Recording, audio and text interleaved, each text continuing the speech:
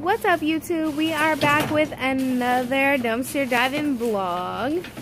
We're here at our local thrift store and hubby is already down in there looking around. Hopefully you find some good stuff today. Looks like they put some more stuff. And then we still have, did not forget my crate today. That's awesome. So, really struggling over here yesterday.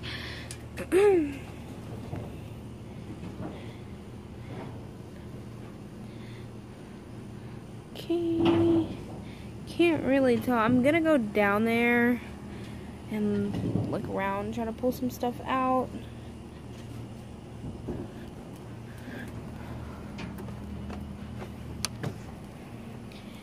Anything? Oh, that's cute. An Easter wreath, a ceramic Easter wreath he just found. Oh, see another, see he found another tub. See the tub.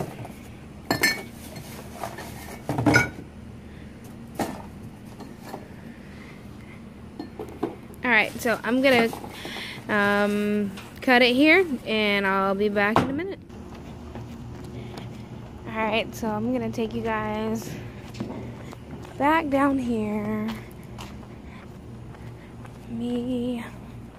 This we're at the little dumpster I showed you guys. Ooh. Ew, someone threw a pamper on the ground. Alright. So, looks like there are a lot of old cassette tapes. Ooh!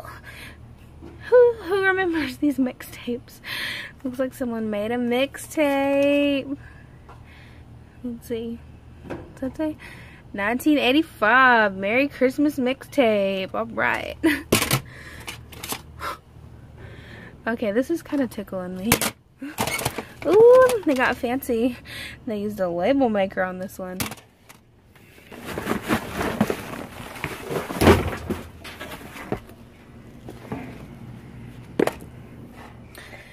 I'm still on the hunt for that boot. Look at this fancy shoe.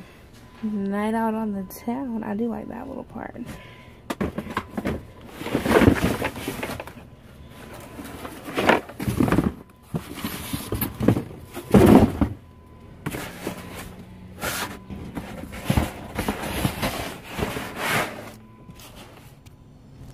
Okay guys, so I just wanted to come and do a quick little piece of a um, report for you guys.